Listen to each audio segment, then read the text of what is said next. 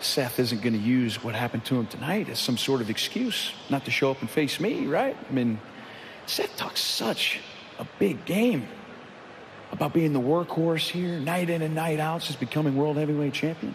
Me, I've been waiting for this opportunity. And if you think what Finn Balor did to Seth tonight was bad, you haven't seen anything yet.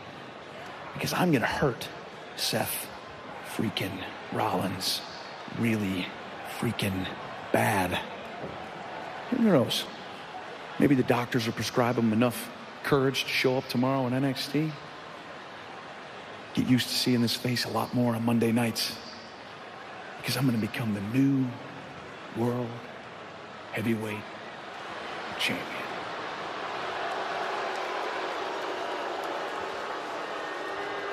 Rollins better be